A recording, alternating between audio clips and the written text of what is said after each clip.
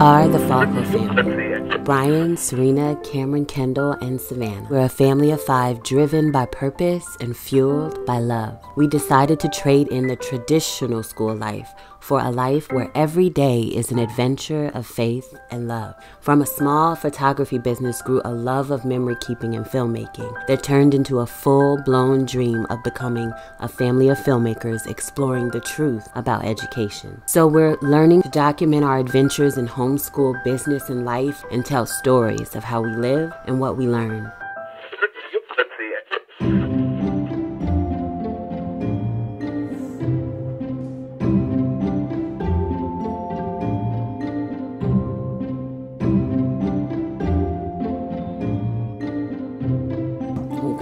Pegboards going on that are gonna go up here, right above the kids' chairs, right in that spot right there. Hopefully Brian will get a chance to hang those for us. The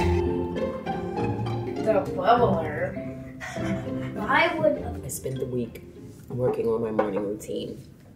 I haven't quite perfected it yet. Um, the goal here is to work on a morning routine for me. I already pretty much have the kids' morning routine mapped out and they handle that themselves and we check in with it at the end of the week. But for me, I told you guys I wanted to try to have like little things that I could look forward to in my morning routine through the day. And I, I will say that it's pretty extra, friends, but I told you guys if we're gonna do this more frequently that you're gonna have to deal with my extraness. Okay, so um, what I did was break down my morning routine into bags. Yes, you heard that correctly. so I wanted to try a bag method for myself, like a proper bag lady, because one of the hardest parts about being homeschool mom for me has been like there is no separation. You know what I mean? Everything is everything all the time. There's no separation anywhere, so it's kind of challenging. Anyway, um, but I wanted to have bags that kind of house the things that I need for each different part of my morning routine. And I know, I know it's extra, but I just feel like, you know, a crazy lady sometimes um, trying to keep my house in order, intact, and things kind of um, in their own separate spaces. And that is a big distraction to me if I don't have certain things in my workout area and I can't find this and I can't find that. So I just figured containing things into bags that I needed for my morning routine would be really, really helpful for me. So first things first, I've got all my bags over here to the left of me. It's my little keychain that I made for myself to help walk me through my morning because like I said, I want to be extremely intentional about my morning and I want it to be something that sparks joy. Okay. So me and my bestie, my bestie and I are on this journey to find things that spark joy in our lives, like us personally, for us and us alone. So I made this little key ring of the things that I wanted my morning routine to include. If I am going to be waking up at four in the morning, then I need to make sure it's for a good reason and not just to be productive. My goal, like I said in other videos, is to be fruitful and that has so much more to do with um, adding some intention and uh, joy to my experience for me. So I made this little keychain. I know, I know. It was just a doodle that I did one day sitting down while the kids were occupied and doing their work just to kind of like think about what I wanted my morning to kind of look like and what I wanted it to include. So I just went ahead and took that doodle and then I broke it up into pieces, laminated it to make myself a little step-by-step -step morning routine. I feel like this always works out really well for the kids. So I said to myself, self, why not do it for you? okay. So um, the first thing that I have on my list is to work out. And I know, I know, but your friend needs her endorphins moving and going. And I need to release those good chemicals that really help my brain just kind of just get jump started, kick started in the morning. So the first thing that I have is a workout bag. I'm not going to really show you what is inside of each of the bags. I'll probably do that in another video once I get more of a handle on what I want to be in each one. But like I said, my main goal is to have things in their place. So that I have them packed the night before and I know that everything I need for the following day is ready to go and not lying around in different places where I can't find them. And I can get confused and frustrated and then my time is up and then blah, blah, blah, blah, blah. So I have my workout bag. that's the first thing I have. Then, next on my list is my, my study time. This is my Words Matter bag, and it just has my binder and the books that are specific to my study time. I've kind of created my own little curriculum for the course of study that I'm interested in doing. That is my study bag. We're doing a lot of education, culture, society type of studies, and that is why I have my study bag. Next on my list is writing and filmmaking. Of course, you guys know that I'm working on a documentary. So I have my camera bag, and this is this has everything I need for writing, for writing, and uh, getting better at my filmmaking. And then, of course, in the back of my bag, I do have my iPad. Um, that I use for those writing studies. The next in my morning routine is my work time. This is when I get all of my work done. All I need for that is a laptop and my office space and a heater because y'all know that my office is in my garage space. So, um, so I've carved out a very specific amount of focus time. We'll talk about that in many videos to come and sprinkled into vlogs along the way. After my work time during my morning routine, I have walk time with them. This is really mm. when the homeschool day gets kind of jump started and I wanted to have a bag specifically for our walks that I could just just kind of wanted one of those slinky gym bags things that I could toss like watercolor in or my mini Instax Polaroid printer things like that to just kind of grab and go for specifically our longer morning walks or even the ones where we pack up in the car and head to a trail or a park or whatever to get in a nice morning walk. So I got this one.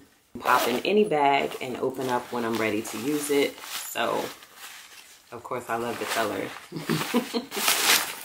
Nothing too big, but just enough for me to just pop in whatever I need for our morning walk. Then myself a little lunch bag that I could just pack in the things that I want to make sure, like without a shadow of a doubt, that I am getting in each day. So I'll let you know how that goes. Super cute. And I have one last bag, friends. Then I have one last bag, my book bag. I showed you guys this in um, a couple of videos before. The little library bag that I grabbed and I really enjoy. The kids have their own separate stacks of books that they work through during the day, and these are the books that I kind of pull from. So picture books that we're using for story time, and any other books that I am just trying to work through reading. So basically, it's essentially a TBR bag, like what's next up on my list of books to finish reading. Again, by Adam Grant. I'm finishing this one up, and I just started this one. Love Songs of W.E.B. Du Bois, Their Words for Home. And I am finishing up uh, Ta-Nehisi Coates' The Water Dancer, which let's not say anything to my oldest because he laughs at me about this all the time. but I'm almost done. And the thing is, I keep rereading and rereading the end because I'm just not focused on it. I feel so bad going to finish it this month. Anyway, so I keep all of my books in my book bag because as they're studying, I am right here to help them through and to lead and guide and answer questions and provide resources and all those things. But in the meantime, I have a lot of like downtime in between. So if I'm not here filming, talking to you guys, most of the time what I am doing is sticking my nose in one of these books. So that's it. Those are my bags that lead me through my morning routine. Um, I will let you know how it continues to go, but I'm very, very hopeful Okay, very hopeful about it because I feel like this is one of the main reasons why I get distracted in my morning routine is that I can't find things. They're in different areas, and then when I go to try to find something, I get distracted and end up doing something else. So if I just know that in a certain part of my morning routine, I grab my bag, I stay focused, put those things back in my bag, move on to the next bag. I feel like this is really helping me stick to having a very um, intentional morning routine. So the last thing I said I was going to show you guys is where the kids' morning routine, um, what the kids' morning routine looks like. And I will show you that. So the beauty of using devices, as always, is the fact that they sync. So even if they are on their devices, I can always pull them up and check check them out on um, our app. So we use Notability for their digital notebooks, and then for their morning routine, we just use the Reminders app that's on um, every Apple device. So this is Savannah's morning routine, and she just walks through it, checks off the things that she finishes. I check them out to see where they are and assign tokens for the things that they have accomplished. Sorry if that was a tad chaotic. It's kind of hard to show you what's on the device sometimes. All right, friends, that is it for today's video. I am going to go ahead and pack my bags and get on with the rest of my day with the kids, but mm-hmm. I thought I would just pop in and document what it's looking like lately as far as our morning routine is concerned. Let me know, how do you guys handle your morning routine? Where have you been lately with it? There have been so many ups and downs in the morning routine. There have been so many years where your friend just needed sleep. So What's I prioritize rest over everything else. And now I'm just in a different season where I really need that quiet, focused time. So 4 a.m. it is, okay? so let me know what season you're in. What is your morning routine looking like? Um, how is it different from the kids? How does it include the kids? Uh, what are you doing to protect the morning routine? All of those things. I feel like morning, nighttime routines are so important for every season. And it's really important for you to define what that is or what it needs to be for you at any given um, time period. Because please believe, a lot of people will try to shame you for needing extra sleep in the morning or waking up low and slow. And look, we're all about that over That's here. me. All right. So remember, life is so very full of blessings. And our goal, as always, is to live and Don't forget to subscribe.